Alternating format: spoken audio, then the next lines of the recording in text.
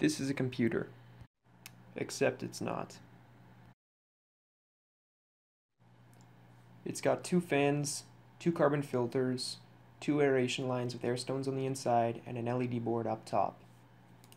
I'm running 13 Cree X-Lamp LEDs and driving them at 700 milliamps each, giving a total LED wattage of about 25 watts. And this is Rupert. Rupert's my first plant, and we're going to try and grow her in less than 0.3 cubic feet of space. The inner dimensions of this enclosure measure 9 inches wide by 9 inches tall by 6 inches deep. That's not much.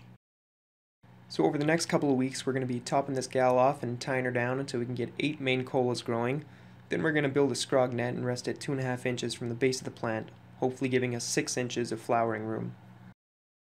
All of the electronics for this project are in the front end cover of the computer case. At the top, we've got our AC and DC lines, then we've got our LED driver and DC power supply.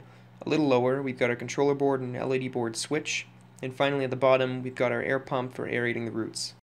Here's an older version of the controller board I designed for this project. Here we've got a 12 volt input and a 5 volt linear regulator. This is the control unit that'll be calling all the shots, and here's a USB port for reprogramming or grabbing information from the MCU. Over here we've got inputs for two temperature sensors, which is a feature that might be used in the future, and at the bottom we've got a real-time clock module for keeping track of the date and time, which is used for setting the lighting schedule.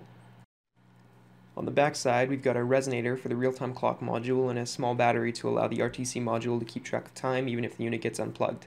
And finally over here we've got a USB to TTL serial converter module that will allow us to talk to our controller through USB.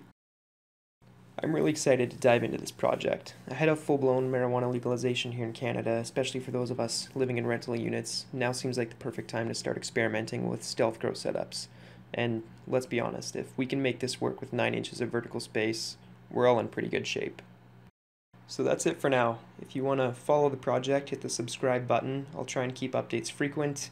If these videos get enough interest, I might do a few videos on the technology that went into this setup or maybe a tutorial on how you can build one yourself.